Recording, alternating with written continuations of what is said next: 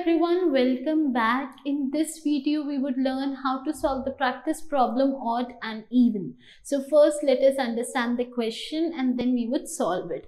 So basically, in this question, you would be given a number and maybe it's odd, maybe it's even. So basically, you need to check if the given number is odd or even. So basically, first, if if the number is even, we need to check if the number is divided by 2 then is the remainder 0 or not okay? So that is why we are using the modulus operator okay? So basically we are checking if the number if the given number is divided by 2 does it give the remainder as 0 or not? If the remainder is 0 then the given number is even. If the number is not 0 then else the number is odd. So this is the concept that we would apply. We would just use the modulus operator and we would solve this question. So let's do it. So guys, you need to go to the practice portal. In this portal, you need to scroll down and go to difficulty. In difficulty, you need to choose school. Okay. After doing this, you need to find the question odd or even. Okay. So one minute. Once you found the question, you need to click on solve.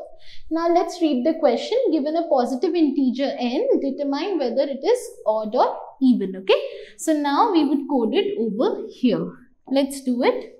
So basically what you need to do is we need to write if the given n, okay, n number modulus 2 is equal equal to 0. That means we are checking for the remainder. If this is true, then what do we need to return with? We need to return with double quotes. Now let me check how they are printing even. Okay. So basically they we need to print even then. So print even. Okay. Else if this is not true else then I just need to return with odd. Okay. So this is how we do it. Now let me click on compile and run to check if it is correct or not. So let's wait. So the compilation is done. Let's check if it is correct or not. See, my output is matching with the expected output. So it is correct. Now let me click on submit. So let's wait.